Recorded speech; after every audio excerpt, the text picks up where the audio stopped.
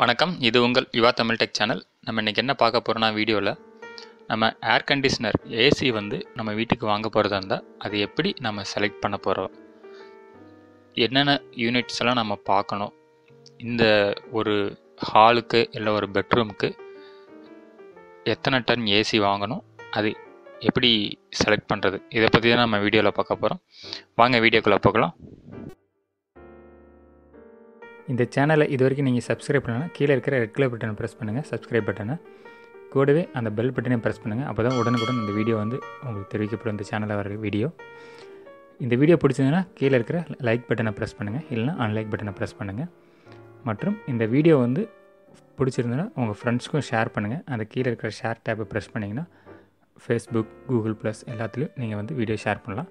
மற்றும் கீழே அப்படியே ஸ்க்ரோல் பண்ணிங்கன்னா வீடியோவை கீழே வந்து கமெண்ட்ஸ்னு ஒரு பாக்ஸ் வரும். அதில் வந்து இந்த வீடியோ பற்றி நீங்கள் வந்து கமெண்ட் போஸ்ட் பண்ணலாம். இப்போ பார்த்தீங்கன்னா நம்ம வீட்டுக்கு வாங்க போகிற ஏசி வந்து என்ன மாடல் அதாவது ஸ்ப்ளிட் ஏசியாக விண்டோ ஏசியான்னு நம்ம செலக்ட் பண்ணிக்கலாம் இப்போ இந்த வெப்சைட் லிங்க் வந்து நான் கீழே டிஸ்கிரிப்ஷனில் கொடுக்குறேன்.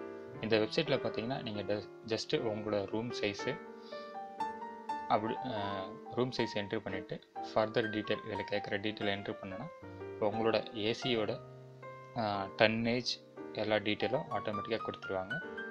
கால் ஆட்டோமேட்டிக்காக கால்குலேட் பண்ணி கொடுத்துருவாங்க இந்த வெப்சைட்டு ப்ளஸ் என்னென்ன மாடல் அவைலபிள் இருக்குது என்னென்ன மாடல் அவைலபிள் ப்ளஸ் கரண்ட் என்ன ரேட் இது எல்லாமே இந்த வெப்சைட் மூலிமா கிடச்சிரும்.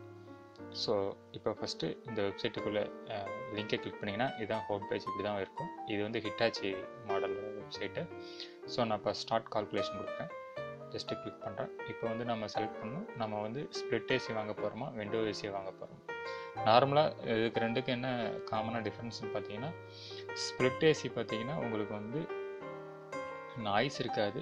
உங்களுக்கு வந்து யூசர் ஃப்ரெண்ட்லியாக இருக்கும். விண்டோ ஏசி பார்த்தீங்கன்னா உங்களுக்கு வாலில் வந்து பெருசாக ட்ரில் பண்ணி ஸ்பேஸ் ஆக்குபை பண்ணோம். இதுதான் அதே மாதிரி விண்டோ ஏசி பார்த்தீங்கன்னா ப்ரைஸும் ரொம்ப கம்மியாக இருக்கும். ஸ்ப்ளிட் ஏசி கம்பேர் பண்ணும்போது. ஸோ இந்த ஏசி உங்களுக்கு எது கம்ஃபர்டபுளாக இருக்கோ அந்த மாடலை சூஸ் பண்ணிக்க. நான் இப்போ வந்து ஸ்பிட் ஏசி செலக்ட் பண்ணுறேன் next button arrow button click பண்ணுறேன் இப்போ பார்த்தீங்கன்னா where do you live currently Mumbai or outside Mumbai? நான் அவுட் சைடு மும்பை செலக்ட் பண்ணுறேன் நெக்ஸ்ட் இப்போ வந்து நம்ம ரூம் சைஸை வந்து செலக்ட் பண்ணோம் இப்போ ரூம் சைஸ் பார்த்தீங்கன்னா இது வந்து feet square feet ten length fifteen with fifteen length ten then height just நான் நார்மலாக இது சும்மா என்ட்ரி பண்ணுறேன் ten ஃபீட்டுன்ட்டு so next one fifty square feet வருது. இந்த ரூம் சைஸு நெக்ஸ்ட் கொடுக்குறேன். இப்போ பார்த்தீங்கன்னா என்ன ஃபேஸிங்கில் வந்து நம்ம ஏசி ஃபிக்ஸ் பண்ணுற போகிற ரூம் எப்படி இருக்குன்ட்டு. ஸோ மாடல் கேட்குது what is your room orientation north west north east south west west so நான் நார்த் ஈஸ்ட் செலக்ட் பண்ணுறேன் ஸோ உங்கள் ரூம் எப்படி இருக்கோ அது மாதிரி நீங்கள் செலக்ட் பண்ணிக்கங்க. Next tells your roof orient roof condition exposed or shadow shaded நான் வந்து எக்ஸ்போஸ்ட் செலக்ட் பண்ணுறேன் நெக்ஸ்ட் சப்மிட் கொடுக்குறேன். இப்போ பார்த்தீங்கன்னா one point five ton recommend பண்ணியிருக்காங்க இந்த ம ஸ்பெசிஃபிகேஷனுக்கு ஸோ ட இந்த அவைலபிள் மாடல்ஸை கிளிக் பண்ணனா ஒரு எக்ஸல் சீட் டவுன்லோட் ஆகும். நான் அதை வந்து டெஸ்க்டாப்பில் டவுன்லோட் பண்ணுறேன் இந்த எக்ஸல் சீட்டில் பார்த்தீங்கன்னா என்னென்ன மாடல் அவைலபிளாக இருக்குது அது என்ன ரேட் கரண்ட்டாக இது வந்து நம்ம பார்த்துக்கலாம். இப்போ பார்த்தீங்கன்னா இன்வெர்டர் மாடல் இல்லை இவ்வளோ ஏசிஸ் இருக்குது அதேமாதிரி ஃபிக்ஸடு ஸ்பீடில் இவ்வளோ ஏசிஸ் இருக்குது ஹிட்டாச்சியில்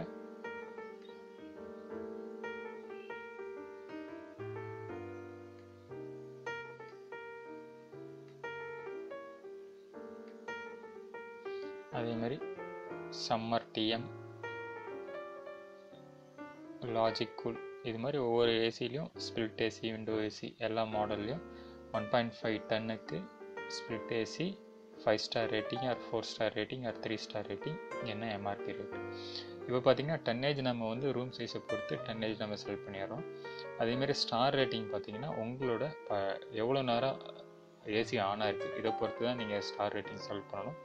இப்போ பார்த்தீங்கன்னா வீட்டுக்காக இருந்ததுன்னா நீங்கள் வந்து நைட்டு மட்டும் தான் யூஸ் பண்ண போகிறீங்க மேக்ஸிமம் ஒரு ஃபோர் டு ஃபைவ் ஹவர்ஸ் தான் யூஸ் பண்ண போகிறீங்கன்னா நீங்கள் வந்து த்ரீ ஸ்டார் ஏசியை ப்ரிஃபர் பண்ணலாம். இந்த ஆஃபீஸ் மாதிரி ஏரியாவுக்கு பார்த்தீங்கன்னா அது வந்து twenty four hours or more then eight to twelve hours run அங்கே வந்து ஃபைவ் ஸ்டார் யூஸ் பண்ணலாம். இதனால தான் நம்ம ஸ்டார் ரேட்டிங் இப்போ வந்து ஃபைவ் ஸ்டார் ரேட்டிங் வந்து நம்ம ரூமுக்கு two to three hours run ஆகிற ஏசி வந்து நம்ம அதிக விலை கொடுத்து வாங்கணும்னு அவசியம் கிடையாது. ஸோ அதை நீங்கள் வந்து உங்களோட பட்ஜெட்டை பொறுத்து நீங்கள் ஸ்டார் ரேட்டிங் வந்து பார்த்துக்கலாம். அதேமாதிரி ரூம் சைஸை பொறுத்து தான் நம்ம டன்னேஜ் இருக்குது இன்னொன்று பார்த்தீங்கன்னா பிடியூன்னு ஒரு யூனிட் இருக்குது அது என்னன்னா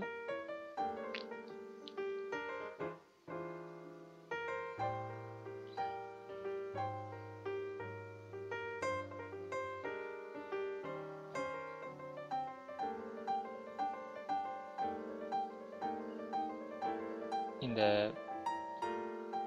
பிடியூங்கிறது என்னென்னா இது எவ்வளோ ஸ்கொயர் ஃபீட்டுக்கு நம்மளோட கூலிங் கெப்பாசிட்டி எவ்வளோ இருக்கணும்?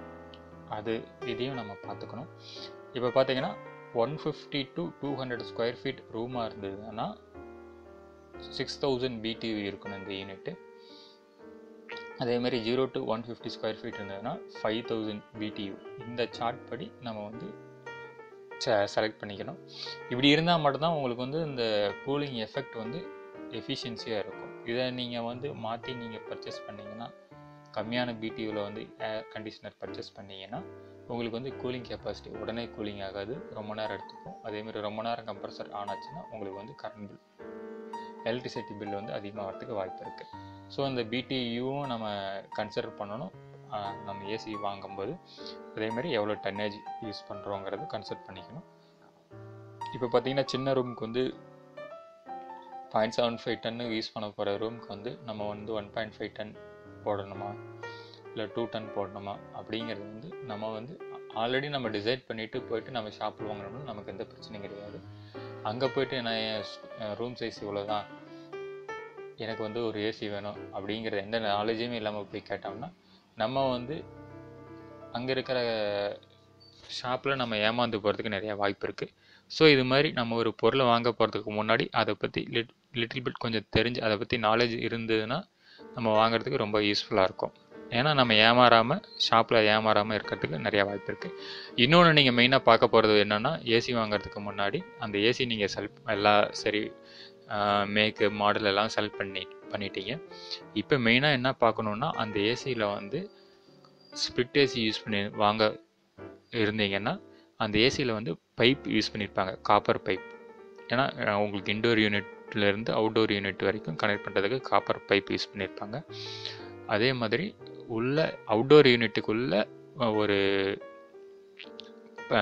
பைப் ரேடியேட்டர் பைப் யூஸ் பண்ணியிருப்பாங்க இதில் பார்த்தீங்கன்னா மெயினாக நீங்கள் கவனிக்க வேண்டியது அது காப்பர் பைப்பா அலுமினியம் பைப்பா நீங்கள் செல் பண்ண போகிற மாடல் காப்பராக இருந்ததுன்னா உங்களுக்கு வந்து லைஃப் வந்து அதிகமாக இருக்கும். அலுமினியம் சூஸ் பண்ணிங்கன்னா லைஃப் வந்து உங்களுக்கு கம்மியாக தான் இருக்கும்.